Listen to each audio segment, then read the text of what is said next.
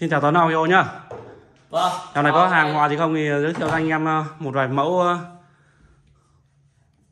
vài mẫu à? Đây giới thiệu Và luôn súp. với ờ, anh em đây. Vừa nhận được của em ờ, súp TTL đây.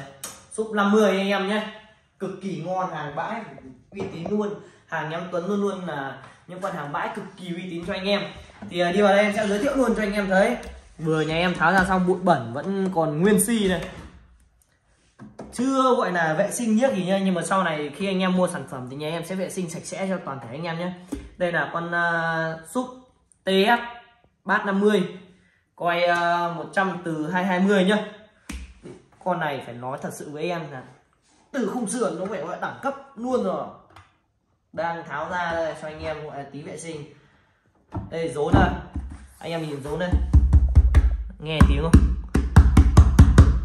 Dòng súp hơi này đập nó phải gọi là căng nét luôn rốn cực sâu cực sướng các ống vít các thứ đầy đủ luôn nhá em vừa tháo ra xong đây mặt lưới bảo vệ cho anh em từ A đến Z bụi bẩn không bao giờ vào được nhá nên anh em cứ phải gọi là yên tâm thương hiệu có thương hiệu thương hiệu TN nhá đây là ba sao đấy. Một trong những cái dòng thương hiệu khá là nổi tiếng và uy tín mà anh em đã, đã từng chứng kiến. Đây là cái uh, bên trong của em súp. Đệm hơi hơi đây uh, anh uh, quay đây cho anh em cùng xem cùng chiêm ngưỡng. Đây dây này dây nguồn này đệm cái nó từ 5 đến 7 7 phân nha anh em nhé. Đệm tiêu âm đấy súp tiêu âm cho anh em. Đó. Ok chưa? Đẹp luôn. Anh em nào ờ, có nhu cầu mua loa hoặc là mua súp thì hãy liên hệ trực tiếp cho em Tuấn Audio nhé.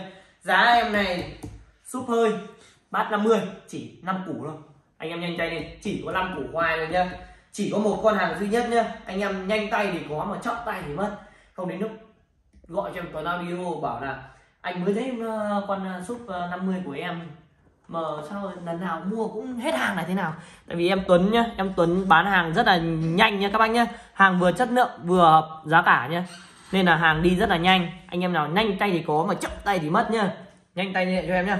Và cuối cùng thì xin chào tất cả mọi người nhá.